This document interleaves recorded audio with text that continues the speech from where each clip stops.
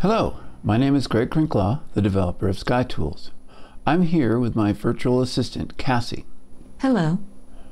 In this video, we're going to create a basic imaging project.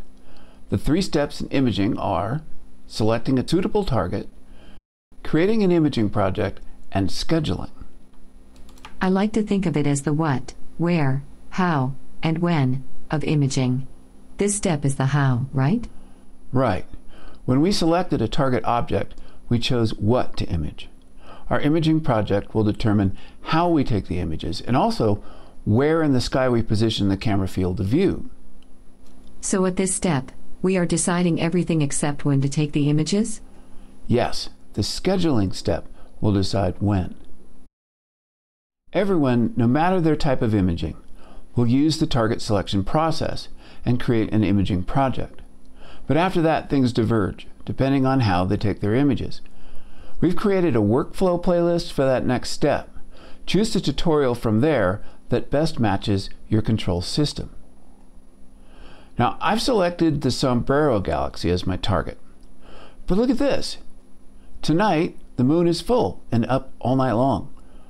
The Sombrero crosses the meridian at noon. So this is a terrible night to image it. But here's the thing we don't need to plan just a night or even a week ahead. I decided I wanted to image the sombrero, so why wait until February to create a project? I might forget about it by then. In fact, the scheduling process works best when you have lots of projects to choose from, so it can select the best ones to image on a given night. So go ahead and create as many imaging projects as you want. I'm going to create a new project by right-clicking on the sombrero and selecting Create Imaging Project. I could have also pressed Control N. The imaging project is primarily defined by two things, the target object and the imaging system. Both of these were inherited from the target selection tool. You can start an imaging project in other ways, and these two things will be similarly inherited. So let's start at the top. This is the name for our project. It defaults to the name of the target, but it could be anything. The only constraint is that you can't have two projects with identical names for a given imaging system. I could also add details. So let's add LRGB so we can quickly see that this is for the LRGB filters to distinguish it from other projects for this galaxy.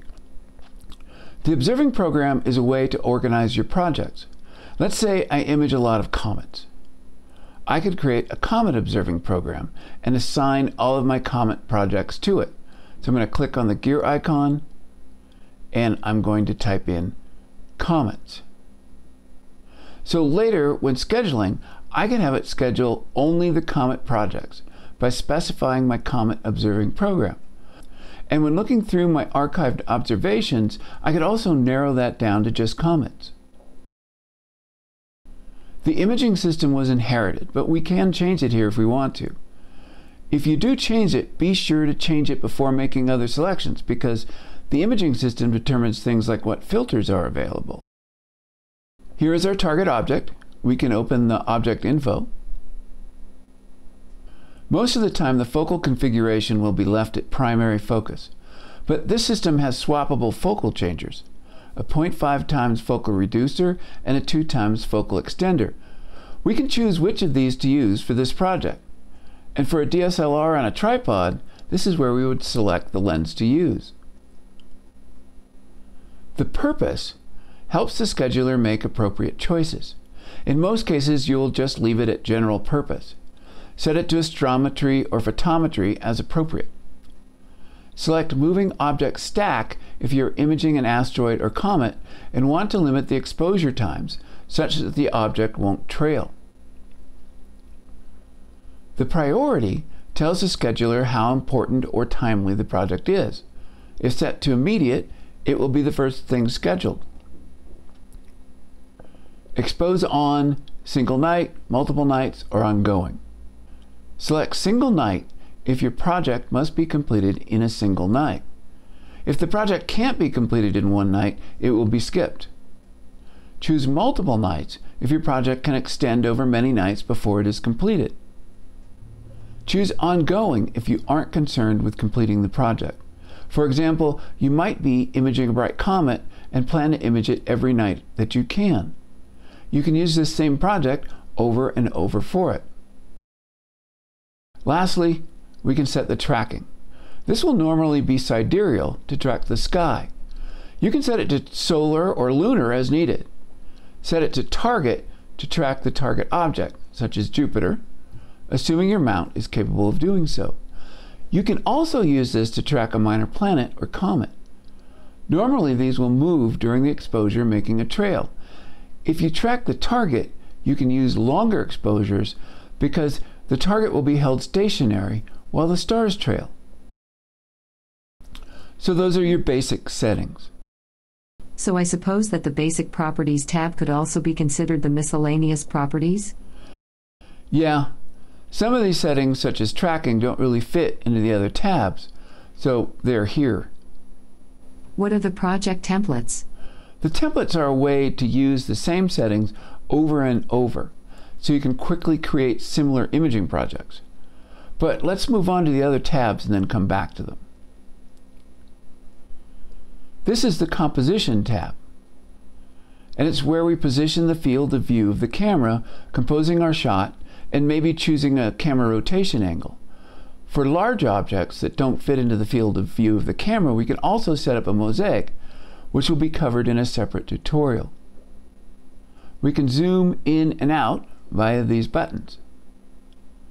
We can display a plottable image in the background. This can be any image with a plate solution, but most commonly it is a downloaded DSS image. Click here to download an image. Choose a source for the download and the survey. I'm going to get an image the same size as the object. The attachments folder is the folder where the image will be placed. We will put it in the default folder, which is the one shown here. If you put it into another folder, we would have to change the folder here to show it. Now, I already downloaded this image, so I'm just going to turn it on.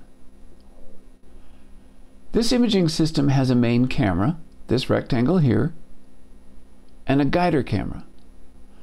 It has a rotator so we can rotate the view to fit the galaxy or to make sure that a guide star is in the guider field of view. I can quickly select the orientation via these buttons or type a position angle in here. Or I can grab the circle at the corner of the main field of view and rotate it freely. This angle includes a good guide star, marked in green, so I'm going to go with that. I can also grab the edge of the main field of view and drag it to any position I want. This isn't that useful for this object, but sometimes we want to include an object nearby. In some rare instances, we may want to record a subframe of the image centered at this same position. How do I change what this view looks like? I mean, can I select what things to display, or change the colors? Yes. If I right click on the chart, I get several options. Here, we can control the magnitude limits in the same way as they are controlled on the interactive atlas. We can also access the view controls to select what things are drawn or labeled on the chart. Again, this works the same way as for the other charts. I could turn off the stars, for instance. Finally, we can open the chart preferences, which determine how the chart looks.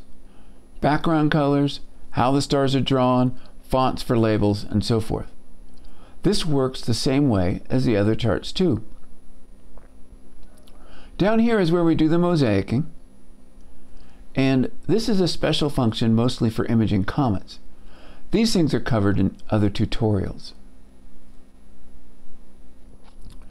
The Exposure Goals tab is where we choose what filters we want to use and how long we want to expose for. So let's start by selecting our filters. We'll do an LRGB set. Next, we will set the exposure goal for the whole project. This will apply to all of the filters. There are two ways to set our goal. We can manually force a total exposure time, or we can leverage the imaging model to specify a target signal to noise ratio. The settings for total exposure time are pretty straightforward. Set the total time that you want for your stack of images. It is set to 30 minutes in each filter. It's best to let the scheduler decide the sub-exposure times. So we normally leave this at auto, but we can force the sub-exposure time if we want to. I have set it to three minutes, so it will take 10 three minute exposures for a total of 30 minutes. What about setting it by signal to noise ratio? How does that work? We select signal to noise ratio here instead, and then we specify the final signal to noise ratio that we want for each filter here. I'll set it to acceptable quality. Remind us what the signal to noise ratio is again. You can think of it as a measure of the quality of your final stacked image. A low SNR will look grainy. A high SNR image will look smooth and nice. The idea is to have enough total signal to overwhelm the noise in the image. People ask me what a good SNR is, but that's difficult to say. There are some general guidelines here, but you need to develop a feel for the SNR that will give you the quality that you are looking for. But more importantly, we can't talk about a signal to noise ratio without specifying what part of the image we're referring to. I mean, the bright center of this galaxy has lots of signal, so it's relatively easy to obtain a high SNR.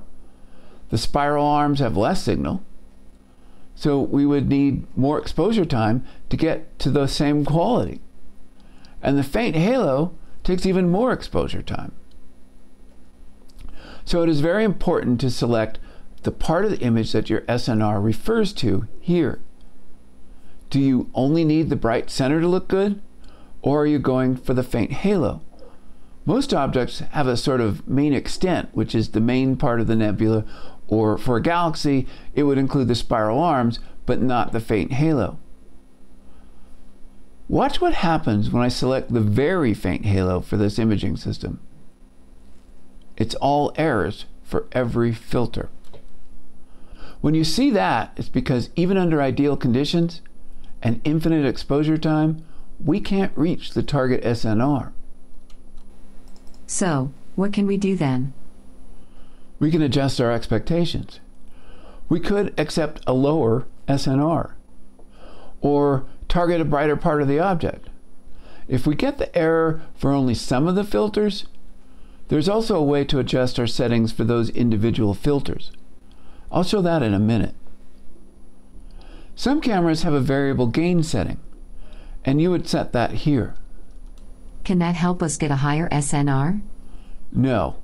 The gain boosts the signal and the noise together, so the SNR remains the same. Let's look at how we customize individual filters. The exposure time column tells us the total exposure time that will be required to reach the target SNR, which is 20 in our case. You can see that it's shortest in the luminance filter and pretty long in the green and blue. Let's select the blue filter and enable the customization for that filter. It's defaulted to what we set globally, an SNR of 20. If I change the SNR to 8, the time required to reach that SNR here goes down. Another thing I could do is change the binning. So this will trade resolution for signal. This is a common trick to set the color filters to two times binning for the color and then get the detail from the luminance filter at one times binning. So those are the exposure goals. But there's still one more very important thing that you don't want to forget about. It's these constraints here. This is for the scheduler to give it some input regarding the acceptable conditions for this project. The minimum imaging quality, or IQ, is critically important. By now, you're probably familiar with the IQ, which is a measure of the relative imaging quality at a given time. The night can be broken into quality blocks. The best part of the night is usually the A period, The next best is B, and so on. This tells the scheduler not to schedule this project during periods that don't meet this minimum quality requirement. Unless there is some reason to get your target right away, I recommend leaving this at the A quality. Lower qualities will result in lower quality images and longer total exposure times. I do not recommend using C, D, and certainly not F, unless you really, really have to. Check this box here if you're using narrowband filters. To tell the scheduler that these should only be scheduled during moonlight, leaving the fully dark periods for other filters. Sometimes you may want to dither your images, which instructs SkyTools to offset the telescope each time it is slewed, which can help remove artifacts in processing. There are a lot of other controls here. What do they do? Most of the rest are for special cases and are covered in other tutorials. These settings are used only for ACP Scheduler.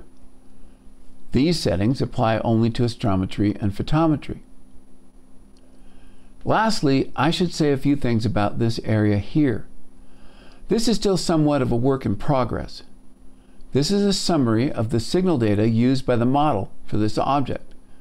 In the future, this will be replaced with a graph that shows the signal of the target object superimposed on the overall sensitivity of the imaging system for each of the filters. When it comes down to it, the table here tells you everything you really need to know.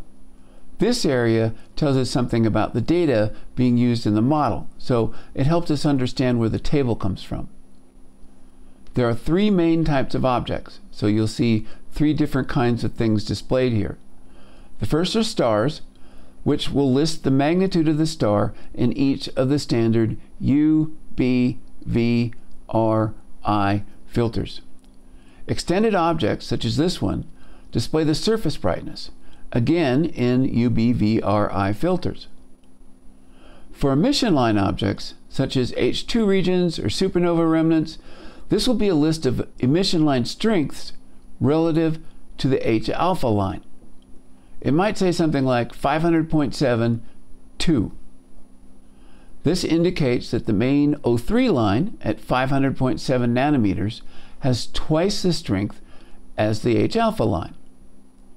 Okay, so that's the basics of creating an imaging project. You said you would come back to the templates. Right, right. Now that we have seen all the main settings, the templates will make more sense. This is a quick way to apply the same settings to similar projects for this imaging system. It mostly saves the filter selection and exposure goals, but it also saves most of these basic settings. So let's see what we did for the sombrero now that we have it all set up. I click Save and then type a name in for the template, maybe Galaxy LRGB. The next time we want to do an LRGB project for Galaxy, we could start by selecting our template and then click Apply to apply those settings to the new project. What are these suggested settings? Uh, yeah, that space is currently intentionally left blank. Okay, that's the basics of creating your own imaging project. See the workflow tutorials and the project specific tutorials for more on specific types of imaging projects. And there you have it. Clear skies, and thanks for watching. Clear skies.